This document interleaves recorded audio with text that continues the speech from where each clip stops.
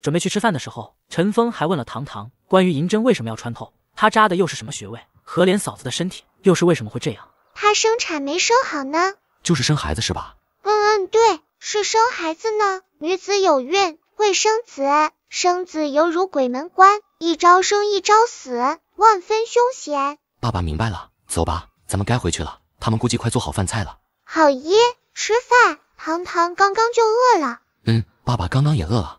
饭后，望祖娘吃过饭去看何莲嫂子，你今天胃口真不错。嗯，是啊，好像被扎了这么几针之后，就有胃口吃饭了。那就好，那就好，证明有希望了。之前那些医生都说看不好，说什么要去大城市里看，现在看来，糖糖也是有本事的。还真是，这孩子是厉害的。不过嫂子，糖糖看病这事，阿峰不想让太多人知道，你就说是阿峰瞧的就成。行，我听你的。之后，陈峰又在糖糖的授意下，给望祖娘写下了两个药方，并且说了这个病症的最严重的问题。堂堂说了，就算治好，她那身体也不能再怀孩子了，失去了这个功能了。这个没关系的，我哥嫂他们一儿一女了，都凑合的好了，不会再生的。再说了，现在都计划生育了，不能随便生孩子了。这要是不能生，那就都生了去医院结扎了，挺好的，挺好的。那就行，这些都是比较常见的药，先吃几天，把身体流血的情况降下来。嗯嗯，好的好的，我这就让我哥去拿药。之后，糖糖又给何莲把脉，看看稳定情况，确定暂时没大碍，这才和爸爸准备回家。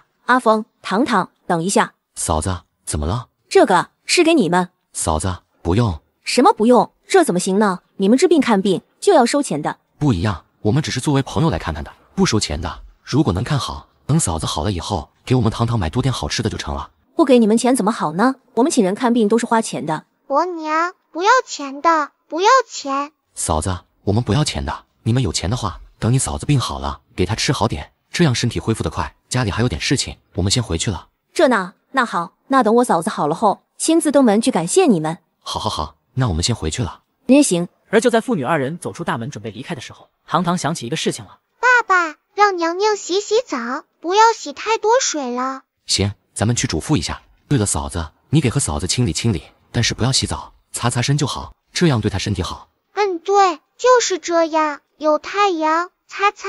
我明白了，这是趁着白天天气还暖和，擦擦身。好，谢谢你们。等陈峰他们离开了，望祖娘连忙去准备洗澡水。嫂子，糖糖说要给你擦擦身子，这样舒服些。等会我给你洗完，再把你这被褥洗洗晒晒。阿妹，谢谢你呀。咱们姑嫂俩有什么好谢的？咱们又一块长大，这点情谊，做点什么都是可以的。等会水烧开，咱们先赶紧的擦擦身子，舒服些。嗯，好，听你的。好久没这么舒服了，那孩子真厉害，能舒服就好，你一定能好的。小宝还等着你照顾呢。要是能好，我一定好好照顾小宝。好不容易得来的孩子，肯定能好的，肯定能好的。不过咱们女人生孩子就这样，好生的呢，连生几个都没事；不好生的，可能就……是啊，要是能迈过这道坎，这孩子我得捧在手心里。没事，你会好的，咱们不用太担心。哎呀，这边陈峰和糖糖回家后。何莲的事情也算告一个段落。过了两天，望祖娘过来说，她嫂子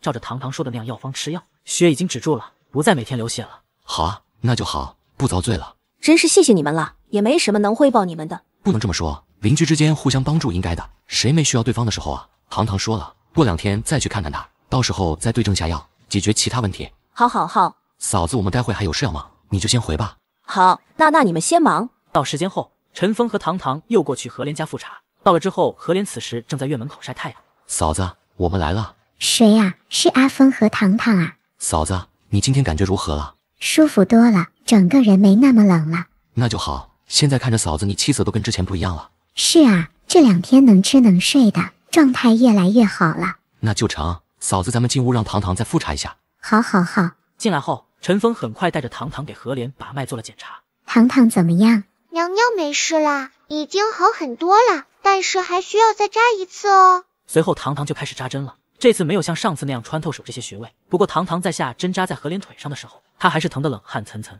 很疼哦，你忍一下。好，糖糖别担心，我忍得住。你扎你的。嗯，好。几番扎针下去，何莲气色瞧着又恢复了些许，好像整个人舒服多了。真的谢谢你啊，糖糖。没事的，娘娘，不用谢，不用谢谢呢。随后。糖糖又让陈峰把这次的药方交给何莲丈夫。哎呦，真不知道怎么感谢你们，这些钱你们拿着，不用不用，真能要，家还有事先回了。这这，阿凤，这些都是家里的东西，不值钱的，给孩子吃。爸爸，这吃的咱们就收下吧。嗯，那好吧，那没什么事，我们就先回了。还有事就不留下吃饭了。那行，慢走啊。好好好。之后除了忙家里的时候，又过了几天，陈峰又带着糖糖来了一次，再次见何莲，他整个人的气色都恢复了不少。虽然瘦还是瘦的，但是他整个人就像重新焕发了光彩。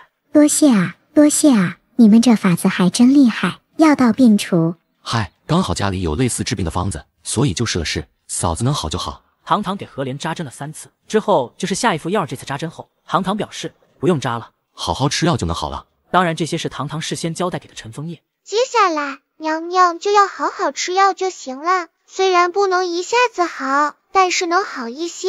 不过想恢复好一些，需要他多注意，不要劳累，也不要生气烦闷，开心点。那就好，那就好。